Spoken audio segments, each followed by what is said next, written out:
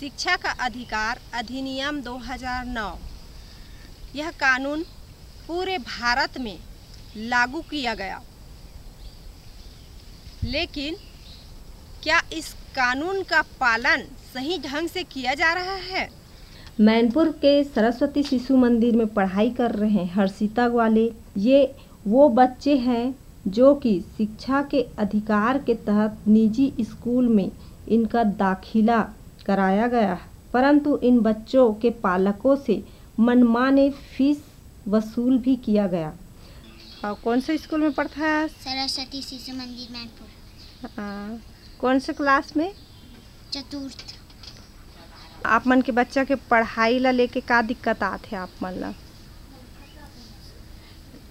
का कथे सरस्वती शिशु मंदिर में पढ़ाई बर करके भर दे कि गरीबी रेखा वाला माफ़ हो करके भर दे बहनी।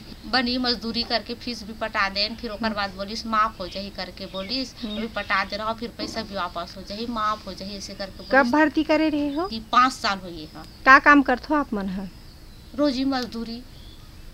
कहाँ जात हो? स्कूल में रोजिस तो है बहनी। का करथो स्कूल में? खाना बनाते तेरह और चौदह में इन बच्चों के नाम से राशि सरकार से लिया गया है और पालकों से भी राशि लिया गया है। स्कूल प्रशासन को इस कानून का जरा भी डर नहीं है। छोटे छोटे गरीब बच्चों के हक को मारा जा रहा है। ये बेचारे बच्चे तो ये भी नहीं जानते कि उनके अधिकार क्या क्या हैं। स्कूल प्रशासन ने इन बच्चों के फ़ीस तो डकार ही लिया। साथ ही इनके लिए दिए जाने वाले पाठ्य पुस्तक की राशि यूनिफॉर्म की राशि को भी डकार गए और कागज़ों में इन सारे चीज़ों को बांट भी दिया गया है। ये मामला सिर्फ़ एक गाँव, एक स्कूल की नहीं है। ऐसा तो पूरे ज़िले के निजी स्कूलों की हालत है।